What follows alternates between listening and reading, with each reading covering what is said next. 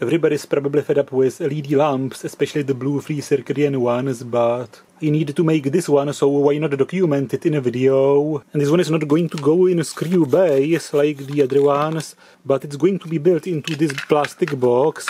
I'm going to reuse the box from this energy saving scam device I will cut the bottom of it and basically put some plexiglass on it and it will go into a socket and shine down on the floor, not into your eyes. This electricity saving scam box used to have a capacitor in it, a big capacitor in parallel to mains and some board with an indication LED, so let's get rid of it and let's put something useful into it. I will probably cut the box like this and there will be a window with a plexiglass and behind it an LED board like this. I modeled the size of the board using this paper. It was probably some moisture detector.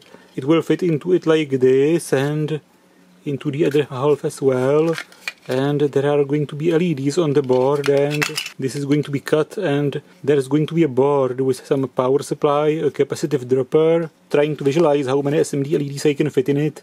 6 by 8 is too much, it would be too tight. So 5 by 7 should work. 35 LEDs in total. Of course, any sort of accuracy is going to be non-existent, but...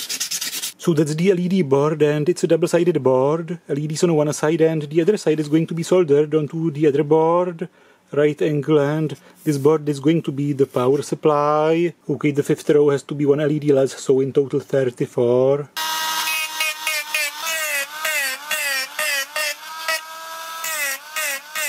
As you can see when it comes to circuit boards, whatever does the job, does the job.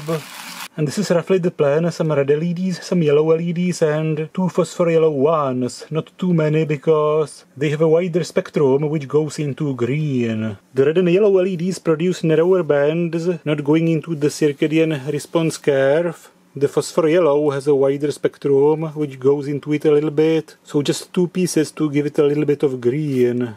And the phosphor yellow LEDs are way more efficient, like 4 times higher efficiency than the normal yellow ones. And some CD reflection just to show the sheer difference between the spectrum of the phosphor yellow LED and the normal yellow. The spectrum of the phosphor yellow is way way wider.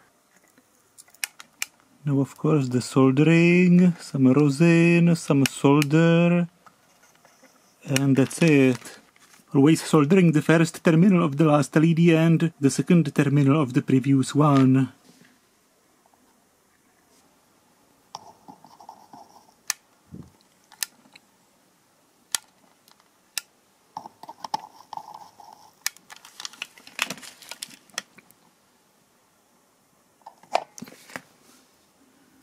That's it. Let's clean it using ethanol. Nice. So that's the LED board. Here is going to be the power supply board. It will go here like this. And some plexiglass over the LEDs, way thicker than necessary of course.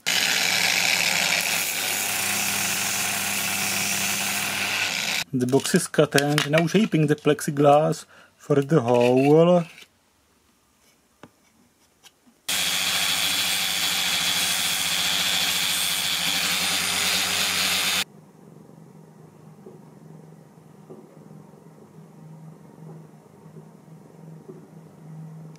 And it fits nicely. Amazing.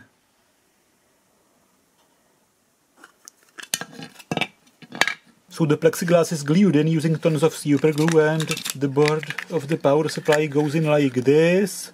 And the LED board will go in like this. And it's going to be soldered together like this physically bonding it and also making the connection. Here's the board with the components. I added an LED to find it in the dark the other side and here's the box with the switch built into it. Now the boards are put together using tons of solder and some thick copper wires.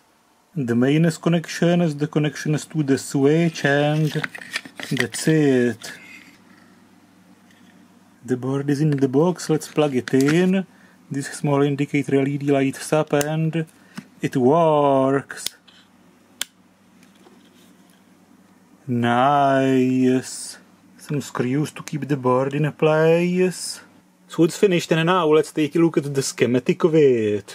The mains comes in through a slow fuse, 32 milliamps, and out of curiosity I measured the resistance of it and as you can see low current fuses have quite a high resistance. Here's the main section of it with this dropper capacitor with its discharging resistor and this inrush resistor limiting the inrush current when you turn it on. Here's the smoothing capacitor with its discharging resistor and this LED resistor further limiting the inrush current through the LEDs and also improving the smoothing effect of this capacitor. And there is 18 red LEDs in a series, 14 yellow and 2 phosphor yellow ones. Their total voltage drop is 67 volts and the current through the LEDs is 10.4 milliamps. And so the power going into the LEDs is 0.7 watts and the total consumption of it is 0.87 watts. The rest of the consumption is the losses in the power supply, and there is 73 volts on this capacitor, but I used a 350 volt capacitor because if some of the LEDs went open a circuit, this capacitor would charge to the full rectified mains voltage, which would be about 325 volts. And then there is this section with this indicator LED. It's dim but still definitely bright enough to find the switch in dark. It runs at 0.18 milliamps, but a super bright red LED will be visible at this current. Of course, at this current I could give it just a resistive dropper with just a resistor and a diode in a series, but because now electricity is bloody expensive, let's give it a proper capacitive dropper and bridge rectifier. The LED also could have an anti-parallel diode, passing just one half cycle through the LED and the other one through the diode, but a bridge rectifier is better. And I'm using a 2.2 nano, 250 volt AC class Y1 safety capacitor, and the capacitance is so tiny, I think it doesn't need a discharging resistor, and these capacitors are typically used in interference filters, going from live to ground or neutral to ground, and these typically don't have a discharging resistor anyway in appliances.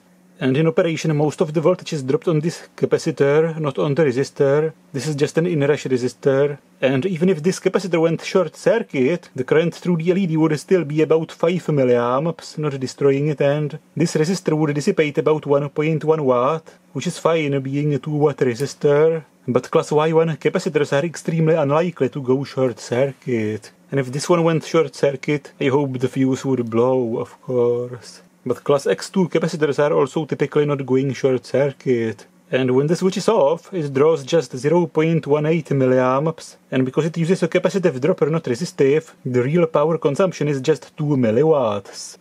And of course the values of the components are not very critical. And this smoothing capacitor could have even higher capacitance like 22 micro, but I had 10 so I used 10. And most of the components I used are from old appliances like monitors, televisions, power supplies, or some old stock components I have. I've only bought the LEDs, this capacitor, because electrolytic capacitors tend to deteriorate and I bought this fuse. The rest of the components is old, as well as this nice housing, which finally has a good use. And of course in the device here is the switch, the fuse, the inrush resistor of the main section, the inrush resistor of this LED, the dropper capacitor of this LED, the main dropper capacitor with the discharging resistor, here's the bridge rectifier of the main section, the bridge rectifier for this LED is under the board, the only SMD component on this board. Here is the smoothing capacitor with the discharging resistor, the LED resistor and the LEDs. And when I shine a light through it, you can see the components with the traces at the same time.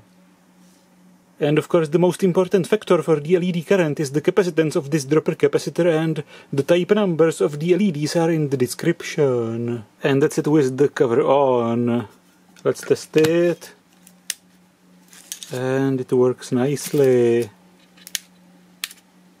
And it goes into a wall socket and of course the LED is visible unless it's under studio lights.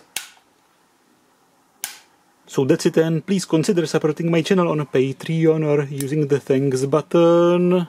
And of course already starting to work on the DIY spectrometer. Based on a computer program, webcam and a CD reflection or a prism.